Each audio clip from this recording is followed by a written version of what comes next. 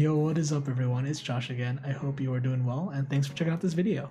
Today I'm going to show you how to make a cable using one of these WEIPU SA12 connectors. This cable that you see right here is my first try using one of these connectors that I did on stream earlier today. If you want to catch a stream in the future, I'll have a link in the description below.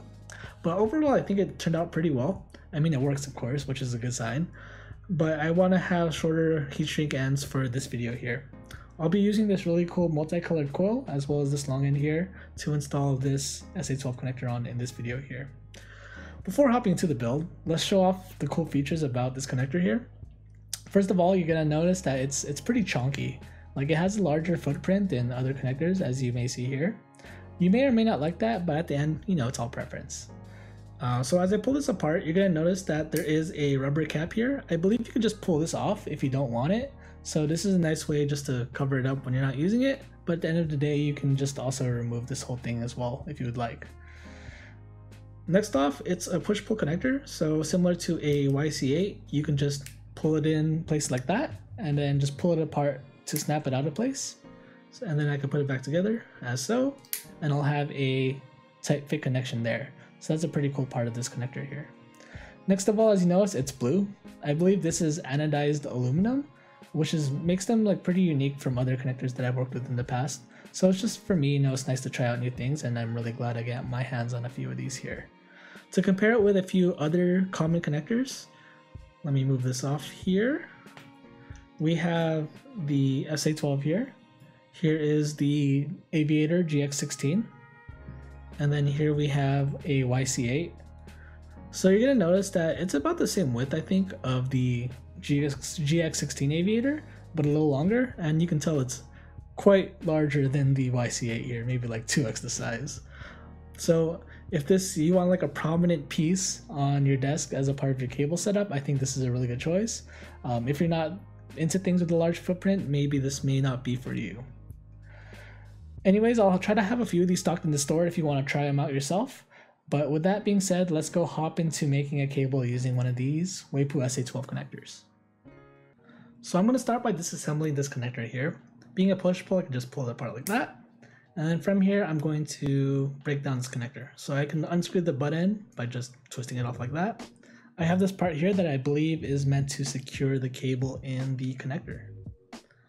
And then this part right here, I believe I can just screw this part off. I think this is one of like the easiest disassembly processes I've seen with other connectors, so I find that I found that pretty convenient.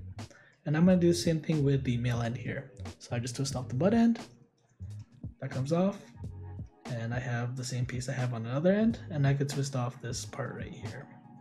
I believe these three components here are the same on both sides, so it's kind of nice having them be equal. Because I know if you use heat shrink it's nice to have like both ends being even sizing. Because I know for like the GX16 aviator one side's like like a fragment of an inch larger which makes it a little rough from time to time but anyways, we have this disassembled here. For this um, build here, I noticed that when I tried out this connector the first time, there is quite a bit of clearance between this part of the connector here and the cable. So I'm going to use a little heat shrink on my cable to kind of close up the gap. With that being said, I'm actually going to remove this black part here. I believe this is meant for securing the cable, but having using heat shrink for this build here, I'm actually going to remove this. I believe I could just pull pull this out using like a pair of pliers that I did here. So I'm gonna take it off on both sides. And I'm gonna grab this other side here and just pull out this little black insulator there. All right, so now that we have our connector fully disassembled, we're gonna go into putting this onto a cable. All right, so we have our cable here. I'm going to push this off to the side and today we'll be using this cable that I had pre-made here. If you haven't seen one of my earlier videos, like how to make a regular DIY uh, double sleeve cable, make sure to check out this video. I'll have a card up here somewhere, I think. So make sure to check that out if you haven't seen one of my videos before. Here I have a coil made from neon pink and light blue in neon blue Tech-Flex. And then this is a neon blue Tech-Flex with light blue paracord. So I think it's a really nice like multicolor setup here. The first step I'm to do is actually add heat shrink to the ends. So I'm to start doing that first. This is to kind of secure the end right here and to also have a place for the connector to slide over. So I'm just going to go to the part where I have my paracord end and I'm gonna grab my heat gun here. So you're gonna hear some blowing here, but I'm just gonna heat shrink this down.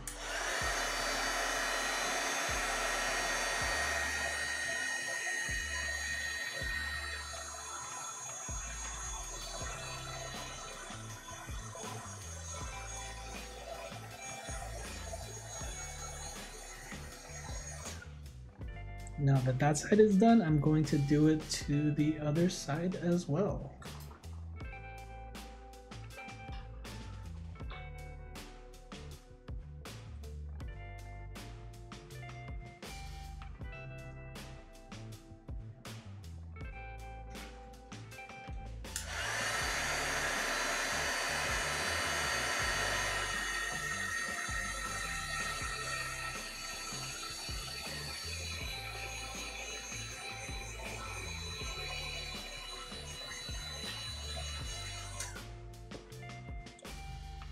All right, so now that we have the heat shrink on here, we can go into adding the connectors onto our cable. All right, now I'm gonna go ahead and add the housings onto the cables here. So I'm gonna start with the butt end here. And I'm gonna do this to both sides. So I have that end, I'm gonna put the white part into it next. And then I'm gonna add this larger part of the housing here. That's should just slide on easily like that. And I'm gonna do the same thing to this side here. So we'll start with this part. Should slide in place there. Have the white part. Gonna slide that on here. And then the larger part of the housing there. So that should be all in place now.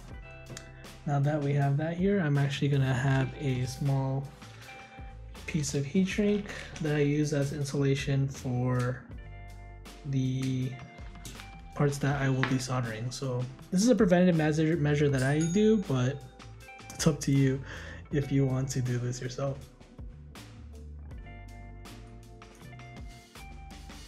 There. Alright, now that we have the here, I'm gonna go into stripping these ends so it'll allow us to solder the connectors onto it. Alright, so now I'm gonna go ahead and strip these cables. If you haven't again checked out one of the DIY USB cable videos, make sure to check that out if you haven't already. This is pretty standard stuff, so I'll go ahead and fast forward through it. But the goal is to leave about a half inch of exposed wire on each end. So I'm gonna go work on that now.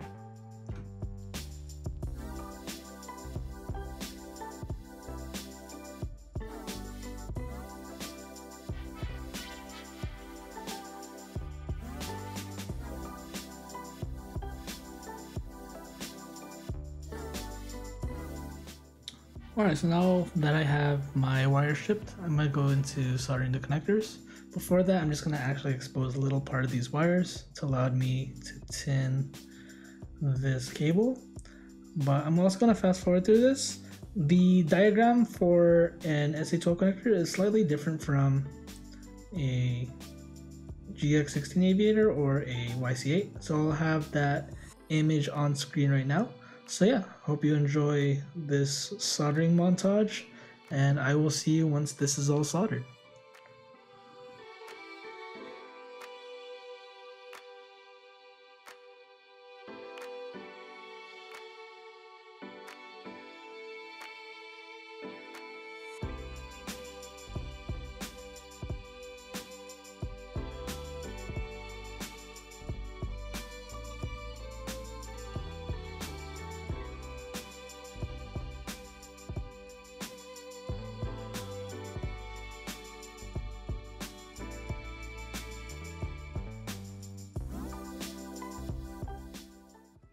Alright, now here I have finished soldering. I put a little electrical tape in between the contacts just to be a little protective of my soldering connections there.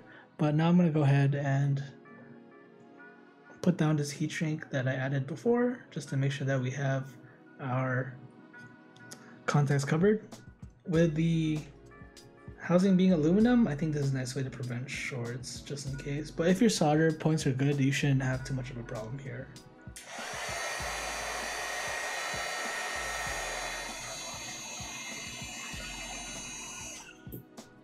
Do the other side.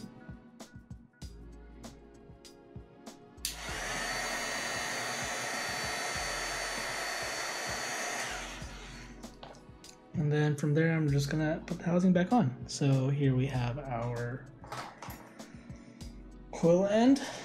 And we'll just slide this part up, twist it back into place, just like that. Very simple. And there we go, get nice and snug. Good. Then the white end should slide up here. There's a sweet spot where this fits in properly all the way in. So find that so it's flush with the threads here. So again, it could stop here, but if you twist a little, it should fall in right in place. Then I'm gonna twist the butt end here and this should be a finished and this looks actually look really cool. There we go. That's that there. And then our long end, slide this up, twist into place. There we go.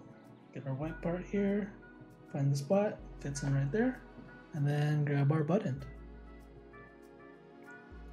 There we go. And get it all the way up there.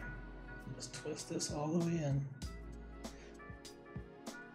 I don't know if it fits all the way, but I think that's as tight as it goes. So I think I'm okay with that for now. Alright, so there we have it. We have our finished cable. From now, I guess we'll just test it and see if it works. Alright, so I have my long GAN plugged into my computer. So I will just plug in this coil here. You'll see there's a red dot on the connector itself to find the spot where they come together. I will just snap it in like that, plug that in, and find my USB-C port here. This is actually a Tofu 68 with a custom wooden board, and I have GMK Cafe on it, which is really nice. So let's go here, repeat test, and this should work. Alright, I'm not to baffle you with my slow typing speed, but we have working cable here, and we have completed the cable. Alright, so here we have our finished cable. I do think the blue anodized finish does fit in really well with the whole blue color scheme here, and overall, it's a pretty exciting cable to look at, right? But anyways, I hope you all learned more about the WEIPU SA12 connectors, and maybe even have appreciation for it yourself. If you want to get your hands on one, I'll try to have a few available in the store, so make sure to check out the link in the description if you want to get your hands on one there. Anyways, if you liked the video, make sure to leave a thumbs up. If you want to see more cable content like this in the future, I'm trying to do a weekly upload, so make sure to hit that subscribe button and I hope to see you in a future video. Anyways, that's all for me today, and make wise choices. Okay, bye.